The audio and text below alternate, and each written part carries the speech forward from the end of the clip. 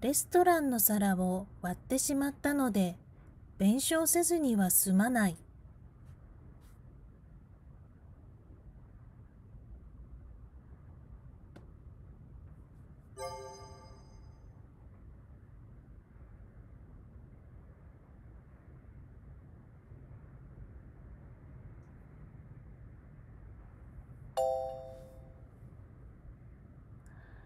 検査結果によっては手術せずには済まないだろう。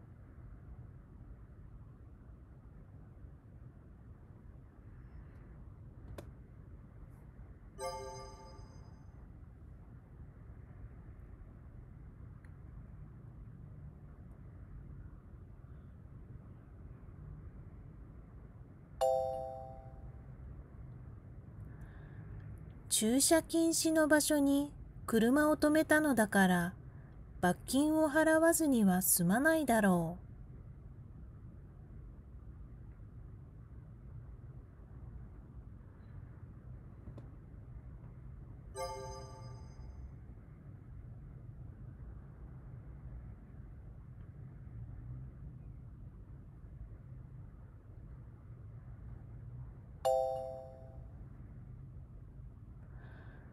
今日はお客様が来られるので、いつにも増して念入りに掃除した。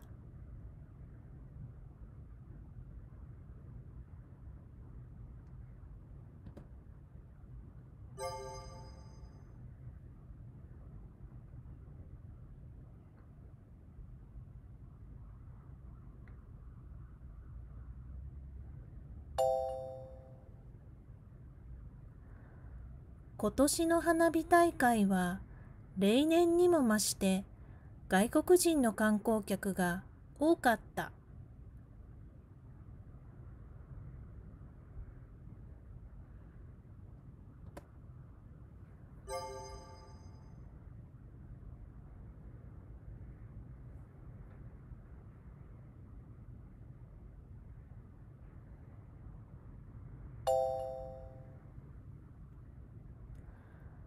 彼女に久しぶりに会ったが以前にも増して美しかった。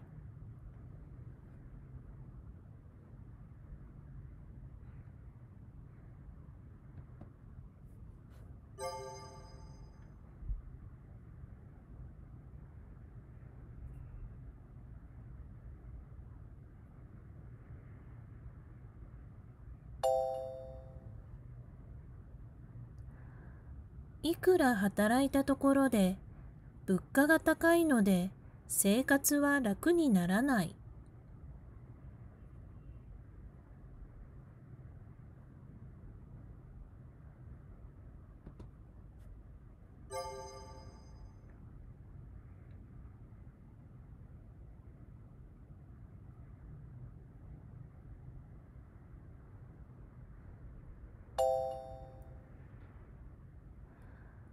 周りの人が何か言ったところで彼は自分の意見を曲げたりしないだろう。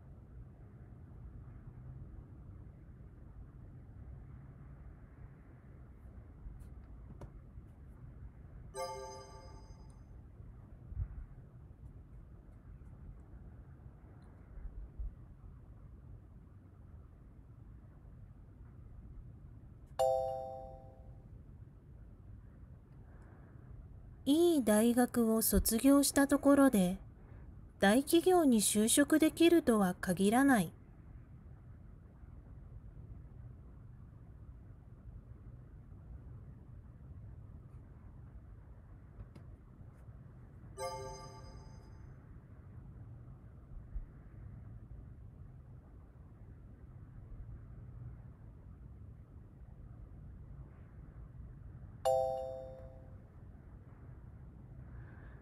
試験はもう終わったのだから今更後悔したところで結果は何も変わらない。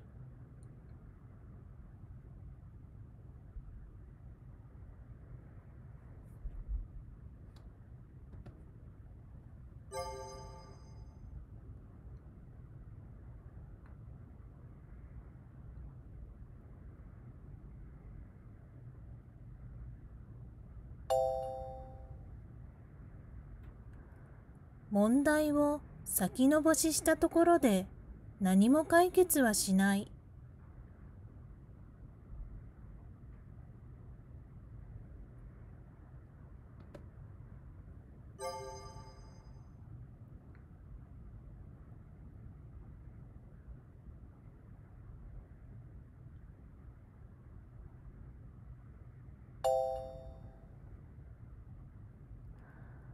今更話し合ったところで別れた彼とよりを戻すつもりはない。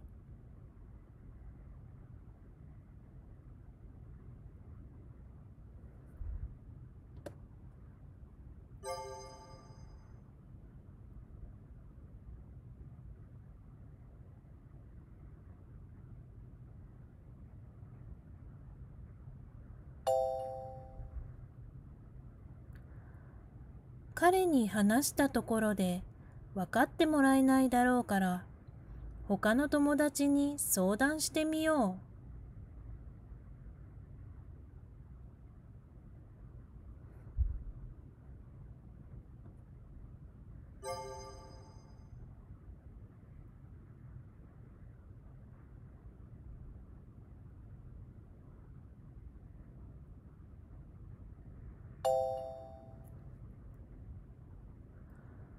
これ以上議論したところで話がまとまるわけではないから時間の無駄だと思う。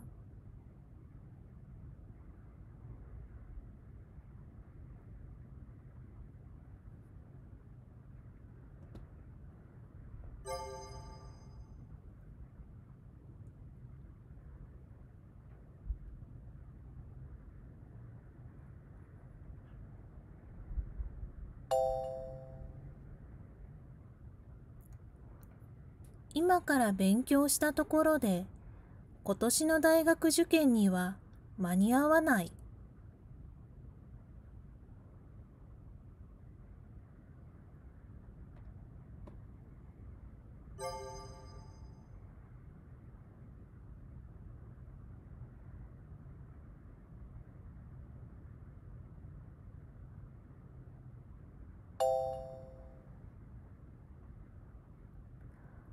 交通事故に遭いましたが、骨も折れてないし、心配には及びません。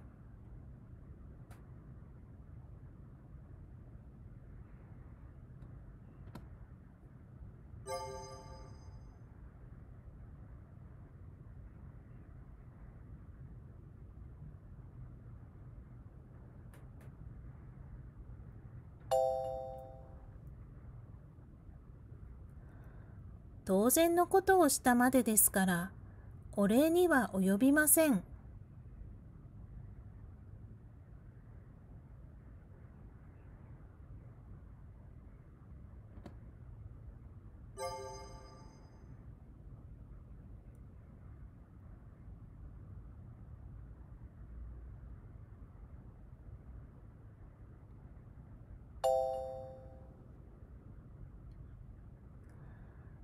結果はお電話でお知らせしますので、再度来ていただくには及びません。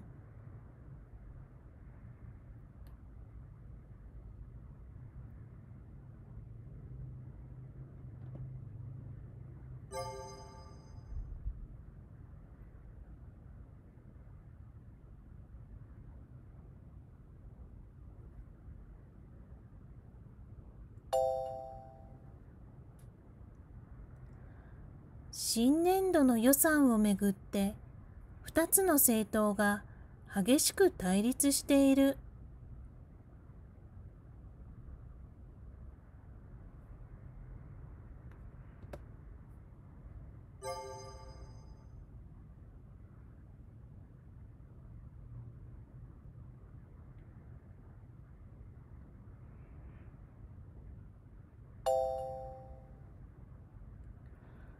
町の再開発をめぐって住民が争っている。